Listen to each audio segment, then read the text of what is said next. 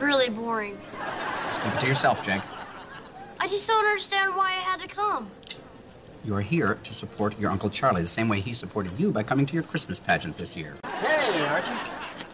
Hey, I want to tell you people, this man has been a real inspiration to me. Now, come on. No, no, I mean it.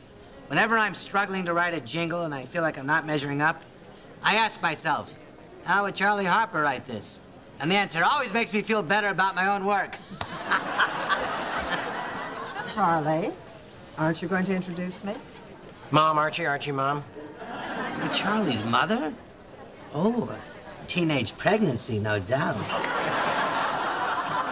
How brave of you to keep him. Well, aren't you adorable? Uh, Mom, Archie is nominated in the same category as Charlie. Oh, well, I'll be rooting for you, Archie. Okay, then. Thanks for stopping by. Good luck. You deserve it this year. Thanks. Hey, stick around after the ceremony. If I win, I'll let you hold my trophy. Not to mention the little statue they give me.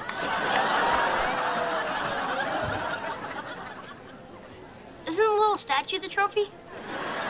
Just eat your chicken. And now, before we present the Jingle of the Year award, we have a special treat.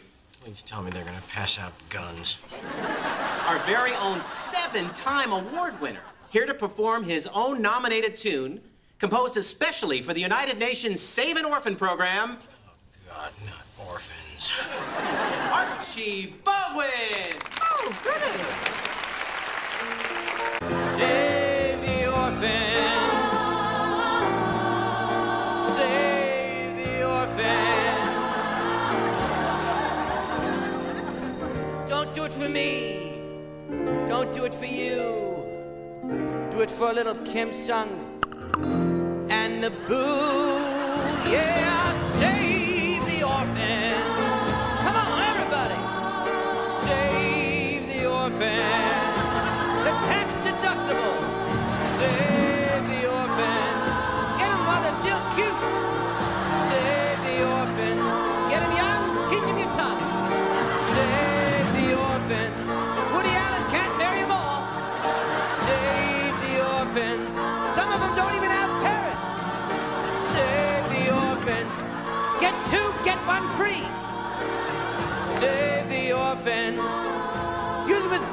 scholarships. Save the orphans.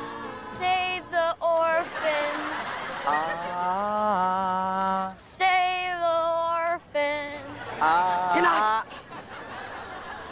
Come on, it's catchy. So So's diphtheria. How come you don't get a runner-up trophy? Because I don't. In school, everybody gets a trophy just for participating.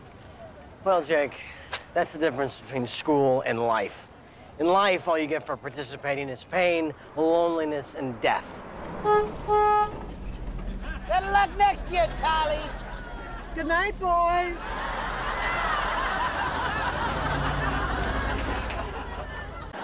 Huh. Well, in sixth grade, you get a trophy.